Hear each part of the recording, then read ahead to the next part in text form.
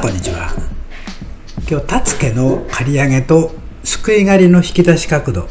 というテーマでお話と実際にウィッグをカットしてみます。日本人の髪っていうのは非常にたつけの人が多いですよね。まあもちろん人それぞれで短くても寝ちゃうような人もいるし、まあ、適度に寝る人もいるんですけど結構横とかですね、まあ、後ろもそうですけど結構立つ人が多いんですよね。立つ毛をですねどのように毛を収めるかっていうのはいろいろな方法があるんですけれども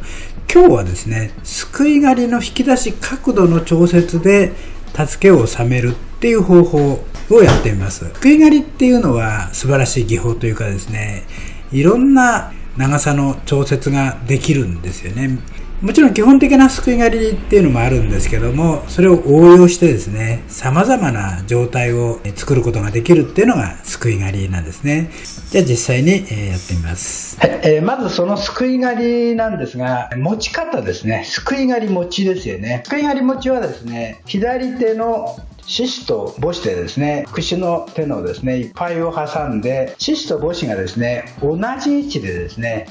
こうずれ、獅子の方が長いからといってこっちにこずれるのではなくてですね同じ位置で持つということですね。そして中指の第2節を串の背第2節で添えるようにしてですね。であと肝子小指は中指にこ添えてですね軽く持ちます。目と平行に構えます。基本的には目と平行に構えます。でその構えた時にですねこの手背面左手の手背面とこの腕の部分がですね一直線になるように曲がらないようにですね構えた時にですね。これが串の持ち方すくい狩り持ちの持ち方ということなんですね。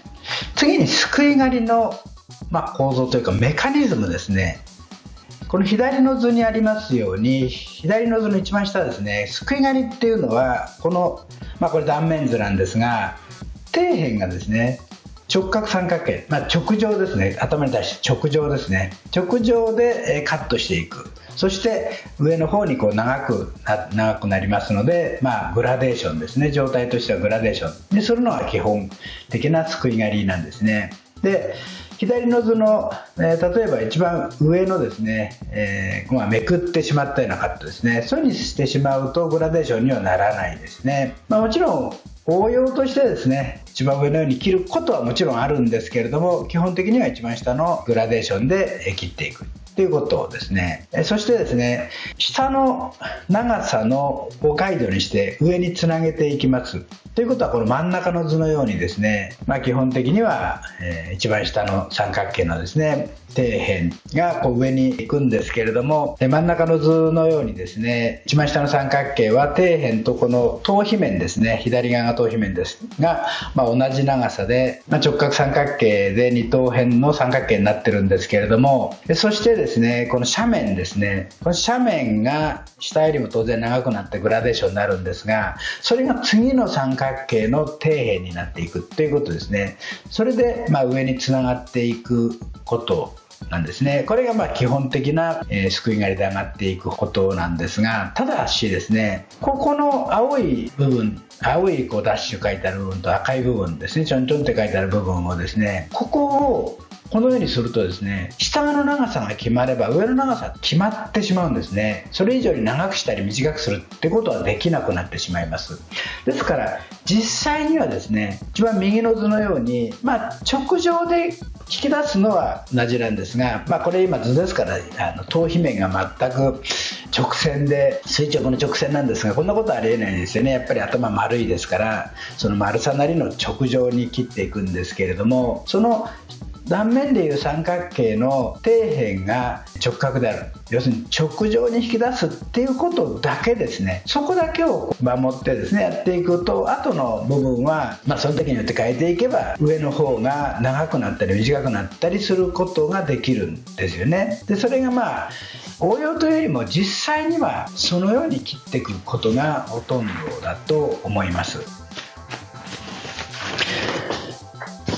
次は串の動きですね、すくい狩りの串の動きですね、この図にありますように、こう構えてですね、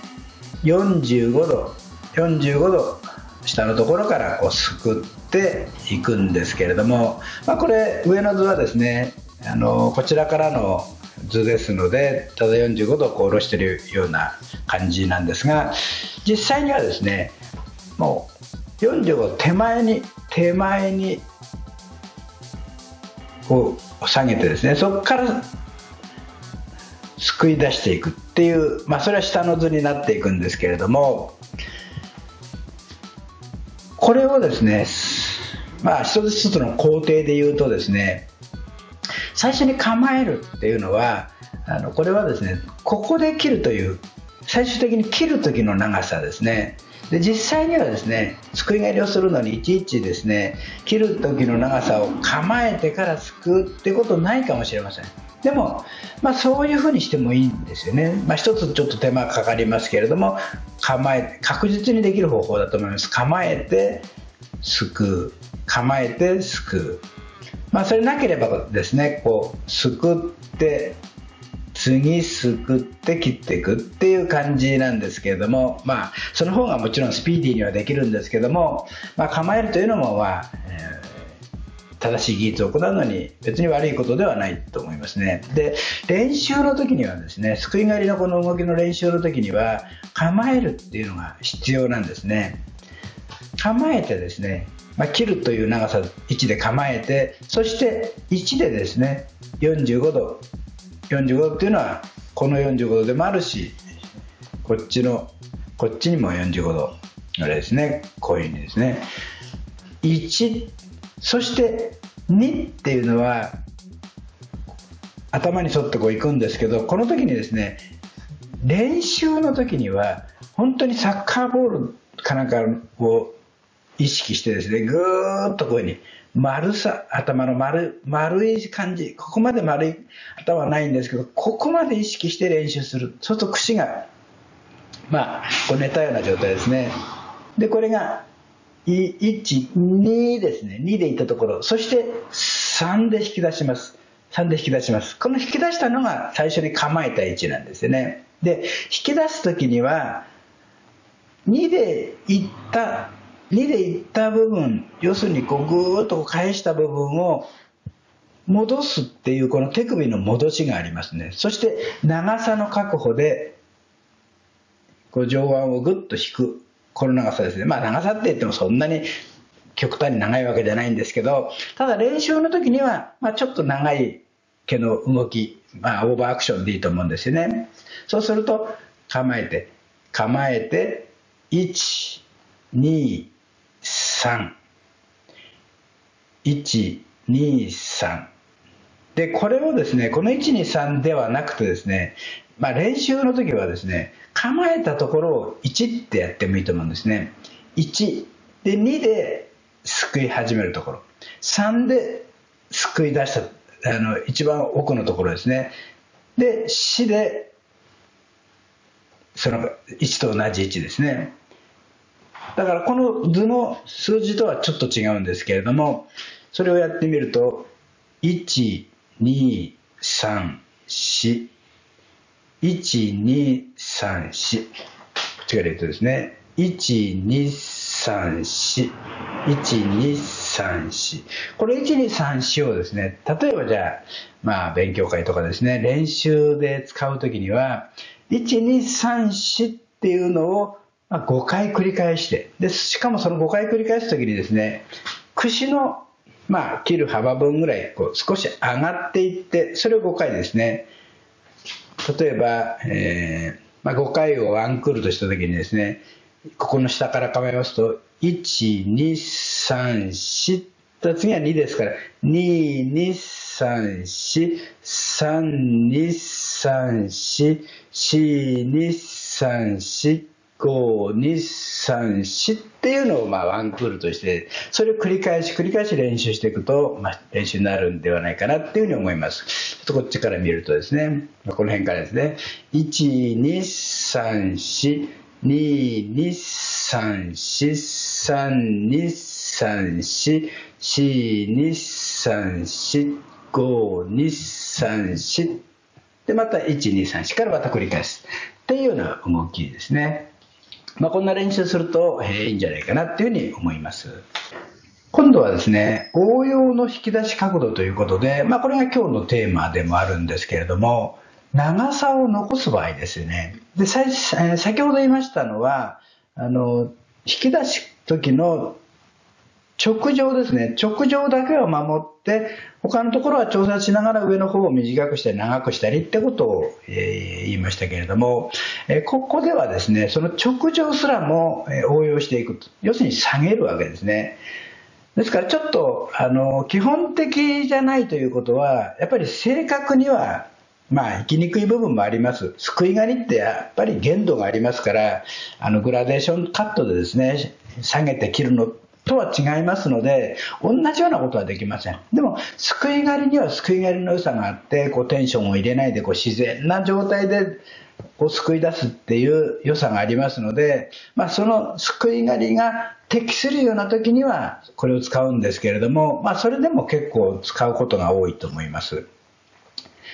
で、これをですね、えー、左の図とですね、真ん中の図を比較してみると、えー、引き出し角度がですね、真ん中の方がもっと下がっています。左の図も底辺が直上よりももっと下がってるんですけど、さらに真ん中の図は下がっています。でそして、この上に行くラインですね、これが、まあ一番右はちょっと、えー、ラウンドグラデーションのようになってますけれども、まあそれはどういうふうに、えー引き出していくかによってこう形の、まあ、長さとともにこの形というかボリューム感ですねっていうのがまあ変わってくるわけなんですね。はい、えーと、それではですね実際に立つ毛まあ立つ毛とかというよりも、まあ、2ブロックにするとかっていうような、まあ、スタイル的な問題ですね。2ブロックにするっていうスタイル的な問題もありますけれども、まあ、そうではなくて、立つから上の毛を長くして、結果的に2ブロックにするっていう程度の考えで、えー、見るとですね、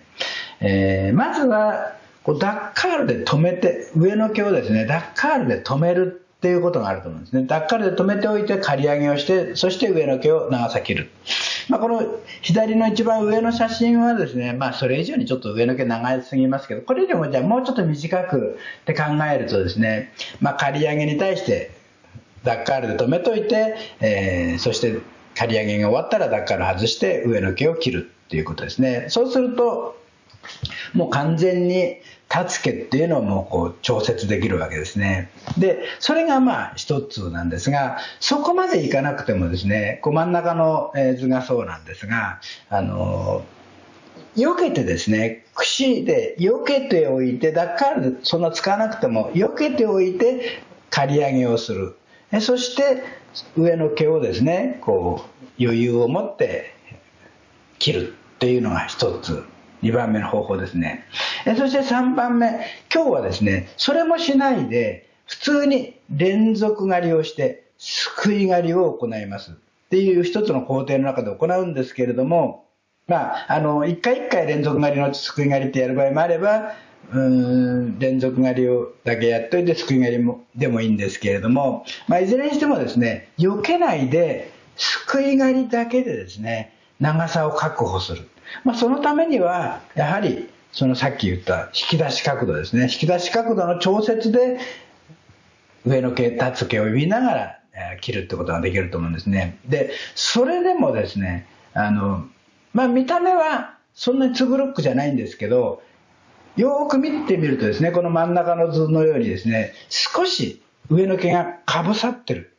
感じなんですね。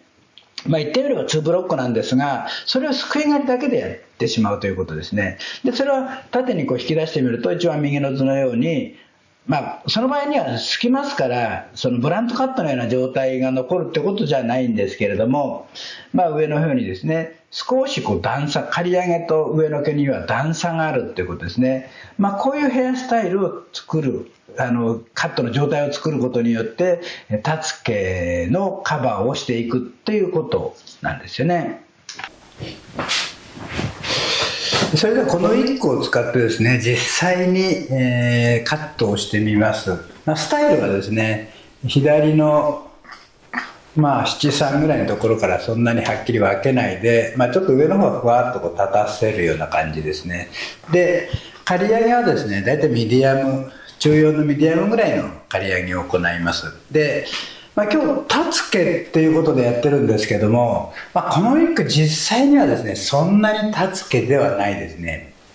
まあ、結構寝てる毛だと思います。まあ、寝てる毛なんですが、一応、たつ、まあ、ウィッグでもすごくピンピンこう立つ毛もありますけれども、立つ毛を想定して、え、カットしてみたいと思います。で、えー、っ、どの順序で、どのような順序でカットしていくかは、まあ、本当に、まあ、今日のテーマとは、まあ、ちょっと離れますので、まあ、自由で、後ろから切っても横から切ってもいいと思うんですけど、今日はですね、ちょっと左、えっ、ー、と、左の側頭部を切って、右側頭部切って、後頭部を切る、えそして天頂部切るっていうような順序でやってみたいと思います。で、えー、この時にですね、上の毛を長くするっていうことで、例えば、えー、ダッカールを使って、っていうのはこういうふうにですねダッカールを使って避けてですねここを刈り上げてしまうと。こう刈り上げてしまう。そしてこの上の毛をダッカール外してですね上の毛を余裕を持ってこうかぶさるように。これが一つ目の方法だったんですねさっき説明した。そしてもう一つはですねダッカール使わないでちょっとこう避けます。避けますかって避けます。避けることでダッカール使った時ほどはっきりは分かれてないんですけどこうしといて刈り上げます。でこの毛はですねこう下ろしといて、まあ、ちょっと余裕を持って切ると、まあ、少しつぶろくみたいな感じになるんですけどもまあ、ばっかり使う時ほどは2ブロックっていうかはっきりしないんですけれども、まあ、それも一つの方法だと思うんですね。で、今日はそれではなくて、もう、下ろして、下に下ろしといて、すくい狩りの引き出し角度だけで調整するということなんですね。じゃあ、えー、実際に切ってみます。事前部からですね。まあ、ここちょっとな今長いですからここ固定狩りで切りますねそして連続狩り切ったらここからですねすくいで下にすくってこんな感じですね。だから押せばダブってます。こういうふうに押せばですね。でじゃあ、事情部もですね、まあ、ちょっと固定狩りをしといて、で、連続狩りのち、ここもですね、すくいます。すくって下げます。下げます。まあ、同じように、えー、人語上部もですね、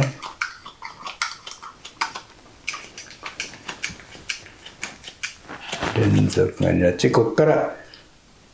下げます。下げてこんな感じですねもう一一運行です。ねミディアムカットの第一運行ぐらい。ここを切りますね。そしてこれもまあ、あの立つ毛のがどこが立つかっていうかですね。例えば横は立つけど後ろは立たないんであれば、まあ、後ろのすくい狩りはもうちょっと切る感じだと思うんですけど。でこの状態で今ですねここがすごく長く残ってるんですねこの毛が。まあ、その飛び出すほどじゃないんですけどこうこうやった時にここから急にぐーっとこう長さが残ってます。この残り具合がいいんですね。でもだからといってそんなにかぶさるというほどじゃないです。こうかぶさるんでしたらやはりこう避けてここの状態で避けといて切ればここ長さ残すことできますけどまあそれは段階ですね。どのぐらい段階あのにするかによって使い分けるんですけど今日はそうしないでこの状態ですね。でもこれでもですねすくいがすくい狩りをしていくこのその次のすくいだけどうするかによってこの上もですねこういう角度になったりこういう角度になったりですねまあこう丸くしたりとか同じ立つでもただ単に全て残せばいいということじゃないんですのでその状態によってすくい狩りで調節をするということですね。でちょっとこの発災を、え整えます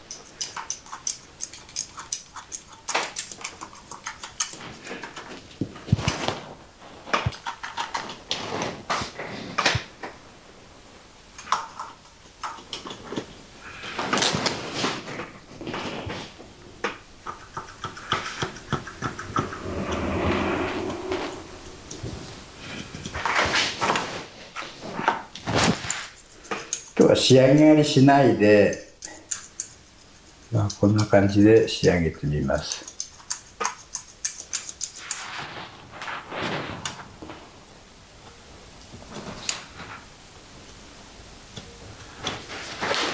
でここはやっぱりこのままだと重いので後で削ぐんですけれどもとりあえず今このまま、えー、この逆にこちら側ですね右側をカットします。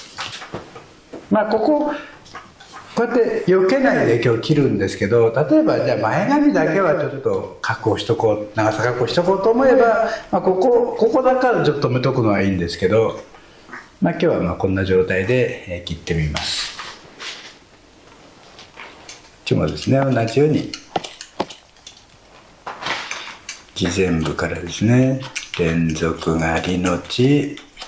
ここからのすくい狩りを引き出して引き出して。こういう感じですね。で自上部も固定狩りのち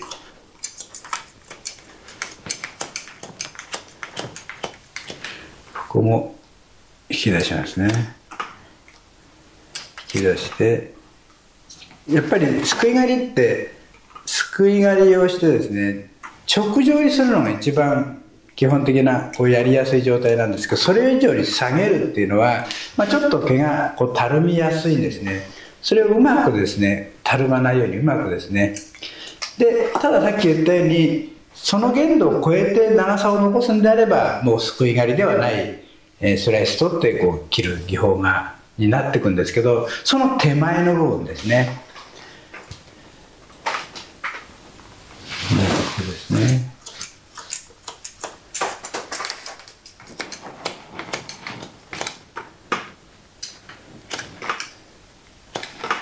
実際に今日のウィッグ立つ毛じゃないのでちょっとこうやって見た時に立ってる感じっていうのはもうないんですけど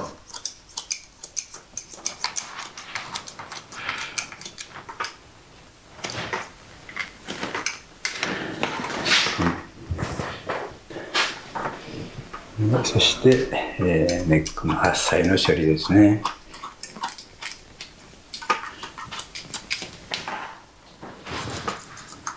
あサイル処理はまあ必要に応じて必要な技法をやっていけばいいと思います。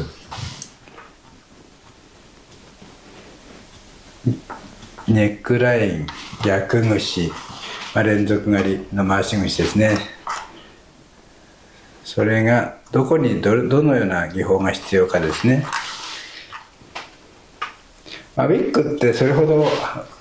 こう生え方に癖ないんですけど人間でしたらやっぱりこういろんな癖とか凹凸ありますので逆虫をこううまく使って、えー、やる必要がありますね。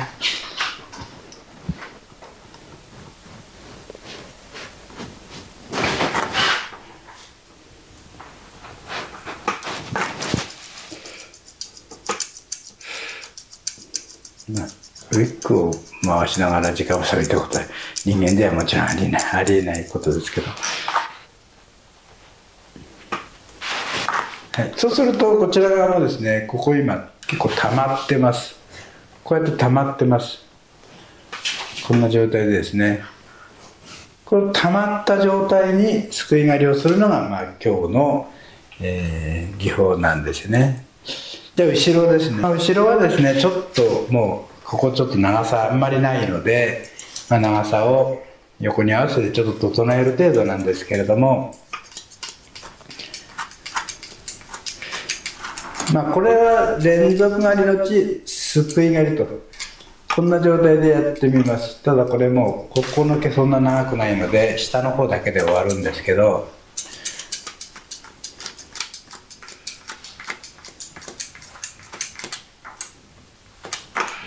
こんな引き出しですね。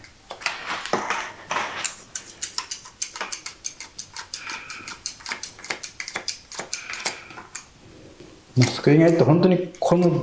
どういうふうにどの角度で引き出すかによって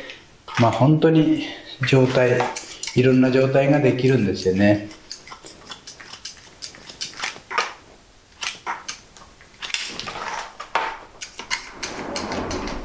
まあ、今日はこれ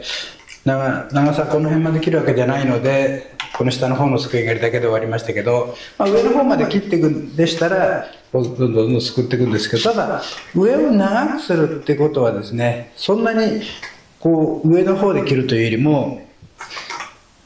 下げて切るわけですから、まあ、その状態ですね。で、まあ、繰り返しになりますけどもうこの辺をもっと長くするんであればもうすくい刈りが無理だなっていうところになったらやっぱり歯間刈りなりこうやってスライスで取るなりして組み合わせて切るということですね。でちょっと下の後ろもですねぼかしの部分をやってみます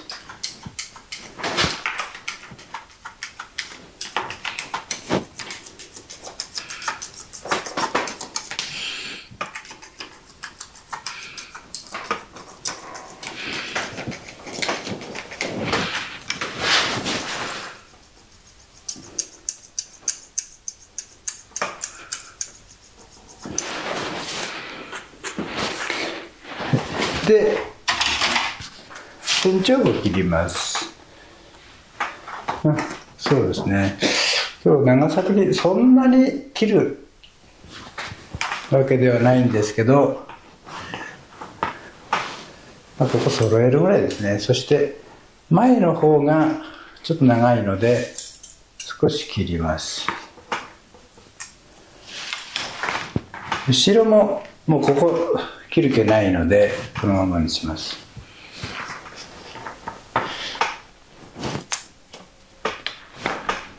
んなにスクエアにならないようなラインで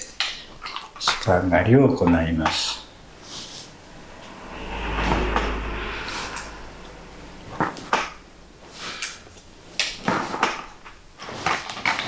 上の方もちょっと空いてはあるんですけどそんなにそんなにこうすく必要もないんですけどただこの周りですね。周りはやはり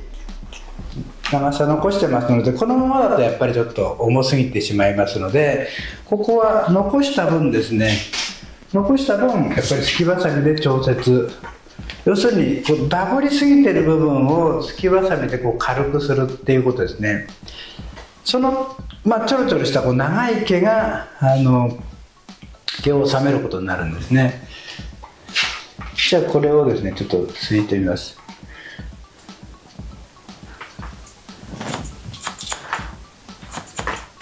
まあ、すく時も当然これライン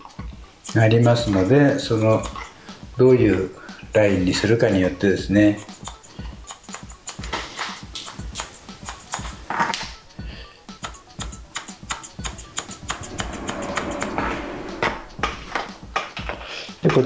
ですね。このままだとこれ重重いですからこれを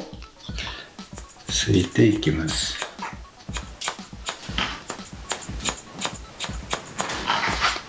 あまりすきすぎちゃうとさっきの残した部分なくなっちゃうので、まあ、適度にですね。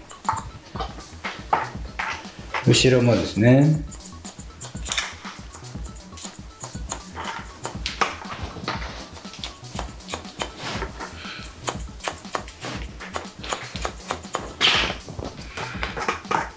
そうするとこのさっき残った部分が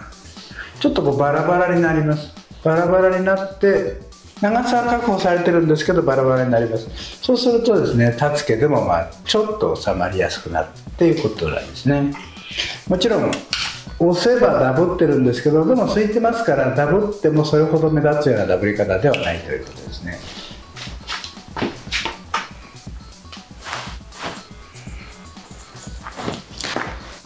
プは少しだけですね。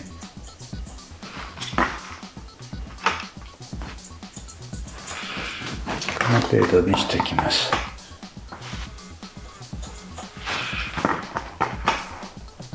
ここもうすでにこう空いてますので部分的にですねそんなに毛は重さないのでまあちょっと見てですね重そうなところだけすきます。でこの下の方はあまりこうすきすぎちゃうとさっき残した分取れちゃうのでまあ、見てですね。やっぱりここちょっとこう長さ残ってるんですね。こうやって見た時にここがですね。これがあえて残した部分なんですね。こっちもそうだと思います。ここに長さ残ってます。長さが。残ってるけど空いてます。これが毛が収まるっていうことですね。